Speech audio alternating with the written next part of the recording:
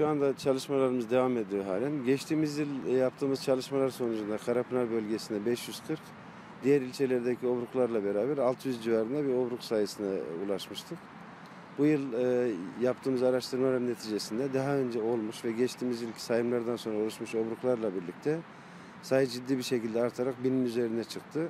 Şu anda e, dünkü sayımlarımızda 1080 civarında oldu ve bunun daha da e, artacağını öngörüyoruz. Çalışmalarımız halen devam ediyor.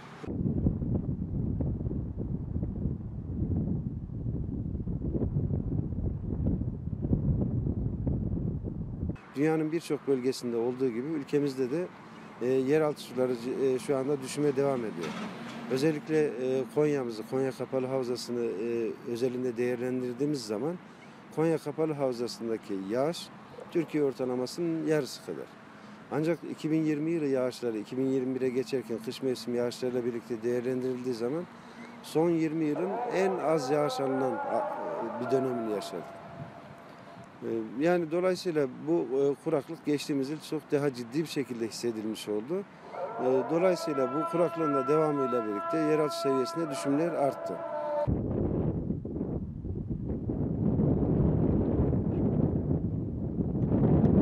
Obrukları e, durdurabilmek için bizim şu anda hani kuraklık yağışları artıramazsak çözme şansımız çok zayıf. Kontrol edebileceğimiz tek bir şey var yeraltı suyunun kullanımı.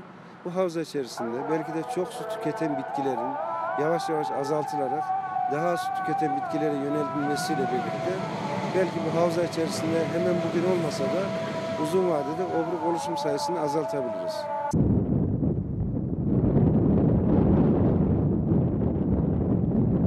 Ee, biz her zaman söylediğimiz bir şey daha var. Desteklemelerin havza bazlı yapılması. Yani buğday desteğinin her tarafta aynı olması, mısır desteğinin her tarafta bütün ülkede aynı olması pek fazla doğru bulmuyoruz.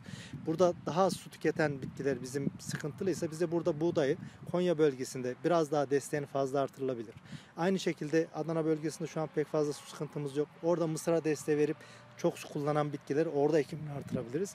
E, bu sayede de desteklemeyi daha etkin kullanarak suyun da etkin kullanılmasına oradan bir e, artı sağlayabiliriz diye düşünüyorum.